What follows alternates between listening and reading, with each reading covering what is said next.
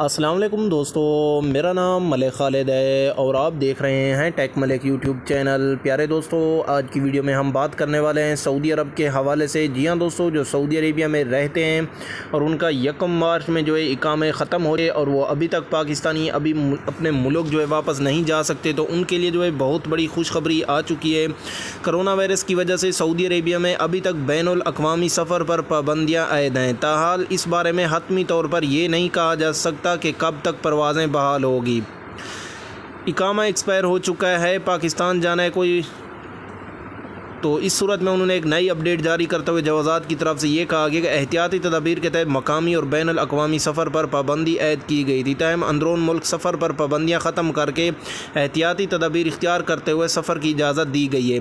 लेकिन दोस्तों, अभी भी मैं आपको बताता चलूँ कि अब दोबारा जो है इन पर पाबंदियाँ लगा दी गई हैं। जैसा कि आपको पता है, शाही फरमान जारी हुआ था पहले यकम मार्च में, जिनके भी इकामे ख़त्म हुए थे तो वो जो है तीन महीने के लिए इकामत कर दिए गए थे। लेकिन दोस्तों अब जबकि सऊदी हुकूमत की जनाब से दोबारा शाही फरमान के तहत तमाम गैर मुल्की जिनके इकामे मार्च में एक्सपायर हो गए थे, इनकी मुफ़्त तजदीद की जा रही थी। इस सूरत में आपका इकामा भी इस कानून के तहत तजदीद हो सकता है।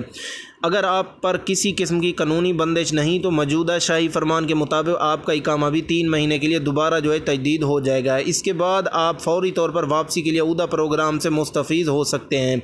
वतन वापस जाने के लिए सफारत खाना या कौंसलेट से रजू करके इनसे मदद भी ली जा सकती है। पाकिस्तान कौंसलेट और सफारत खाने में वेलफेयर का शोबा मौजूद है, जो हम वतनों को हर मुमकिन मदद करता है। आपको चाहिए कि फौरी तौर पर सफारत खाना या कौंसलेट के शोबे वेलफेयर से रजू करके इन्हें अपनी मुश्किल से आगाह करें। ताकि मौजूदा शाही फरमान के तहत आपकी मुश्किल जो है हल हो सके। तो जी हाँ दोस्तों, अगर आप अभी तक भी आपको ये सहूलत मैसर नहीं हुई तो आप जल्दी से जाएँ अपने कौंसल खाने में। वहाँ पर जो है आपको ये सहूलत बिल्कुल भी मिल जाएगी आपके साथ। जो भी परेशानी आप बताएँ कि हमें जो ये परेशानी हो रही है। तो दोस्तों, अगर आपका इकामा भी ख़त्म हो चुके तो अब आपका इकामा दोबारा तजदीद हो जाएगा। अगर आप पाकिस्तानी हैं तो आप फौरी जाएँ अपने पाकिस्तानी कौंसल खाने में। वहाँ पर जाकर अपने इकामे के बारे में बताएँ और टिकट्स भी आपको वहीं पर जो है मिल जाएगी। तो जी हाँ दोस्तों, आप नए शाही फरमान से आप बहुत बड़ा फ़ायदा जो है उठा सकते हैं। दोस्तों, अगर आप यकम मार्च से पहले सऊदी अरेबिया में आपका इकामा ख़त्म हो चुका था तो आप जो है, ये जो है ऑफ़र हासिल नहीं कर सकते।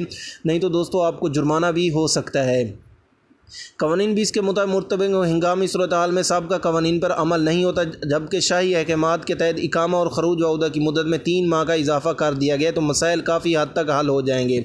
जितने भी लोग यहाँ पर फंसे हुए हैं, उनको परेशान होने की ज़रूरत नहीं है। अब उन सब लोगों का जो परेशान थे कि यार हमारा इकामा ख़त्म हो चुका है, पाकिस्तानी बहुत परेशान थे कि अब हमें जो है जुर्माना शुरू हो जाएगा। लेकिन दोस्तों, अब आपको किसी को भी जुर्माना अदा नहीं करना पड़ेगा। अगर आपका इकामा यकम मार्च के बाद ख़त्म हुआ था तो तीन महीने उस टाइम टाइम टाइम दिया गया था, अब जो है तीन महीने टाइम और भी बढ़ा दिया दोस्तों, अपना रखिएगा ख्याल, मिलते हैं नेक्स्ट वीडियो में। अल्लाह हाफिज़।